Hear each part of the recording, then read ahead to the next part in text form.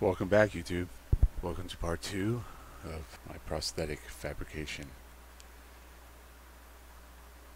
It's not a lesson, an exercise for myself to get back into makeup effects.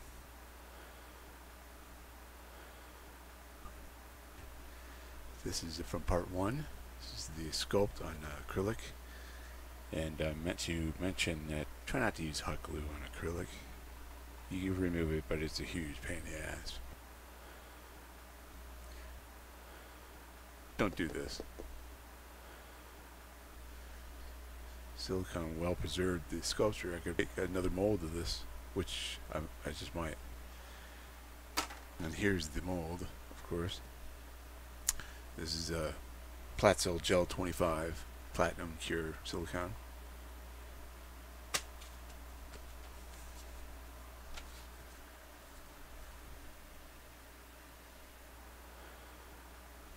It's got low viscosity, good for pouring casting.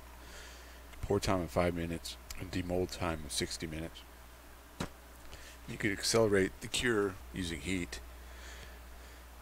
They have additives, accelerators, and retarders, and thickeners, and whatnot. I do not like using additives as in accelerators and retarders. I believe that you jeopardize strength of your silicone if you use too much of that stuff. So I use heat if I want to accelerate the cure of, of platinum silicone. Tin, you could actually submerge it in water. That's a condensation cure. And those are two main uh, silicones that the industry uses in mold making and makers use. Makeup effects artists, especially platinum. Yeah, so I pulled it, as I showed you. I trimmed the edges here. Might have to do a little more silicone rises up the side of the walls so you have like this ridge.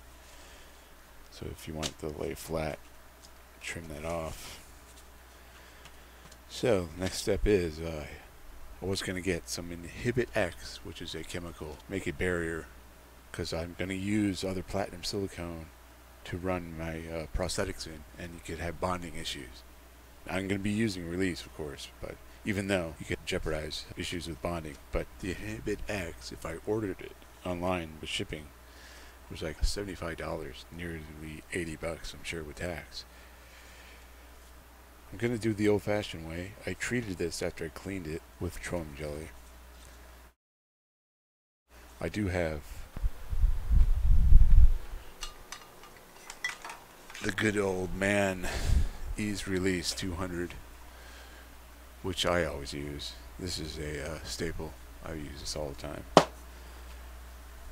Or I did, shall I say. This whole demonstration of me making this prosthetic is uh, trying to motivate myself to get back into this stuff. My way of doing it is just easy uh, flat mold prosthetic. So I'm going to be running silicone, but I'm going to encapsulate it with vinyl cap, bald cap material. Even though I have bald cap material that will go over this before I pour in the silicone, you still have the excuse me, you still have the chances of uh, your casting material to bond to this mold. So when I go to cast, I'm going to make sure Vaseline it up. This. Probably end up spraying, not spraying, sponging in the uh, bald cap material. Um, I don't feel like setting up my airbrush just for one little prosthetic, you know. That's big much.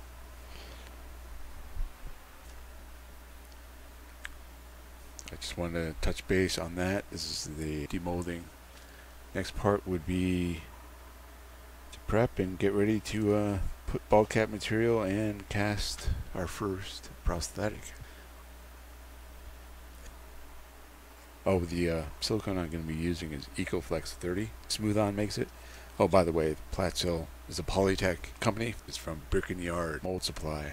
I use them along with Reynolds Advanced Materials. I love both places. They're great. I wish uh, Brick and Yard was closer. They're in, near Dallas area, I believe, Texas, and I believe they opened up a. I'm not sure if it's still there, but in Atlanta, since the blow up of Netflix and whatever else up there, it's gone crazy. Maybe I should move up there, but uh, I'm too old. This is a hobby. I will work on films, short films, projects. I'd love to, but I'm not seeking a career. I'm too old for that. Right now it's a hobby, expensive one at that, and time consuming. Thank you for tuning in. Appreciate the views, and please subscribe. Stand by for part uh, three. Be casting our prosthetic. Thank you. Peace out.